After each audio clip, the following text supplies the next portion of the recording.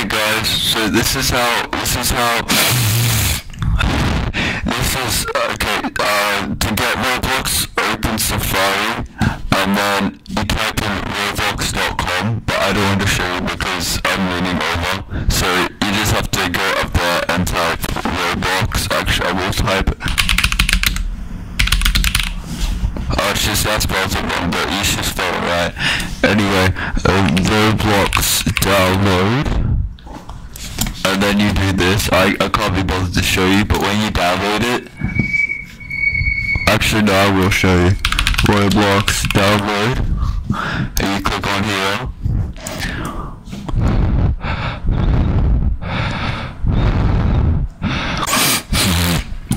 And if you have, if you have Apple computer, you download Mac app, but if you have iPad, this one, or Samsung, this one, or these, or Amazon, I'm gonna close this now, and when you're ready, you, you open up your apps,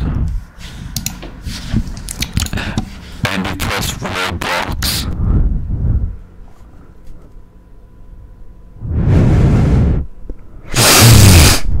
Anyway guys, thanks for watching the tutorial. I hope you enjoyed, leave a like and subscribe.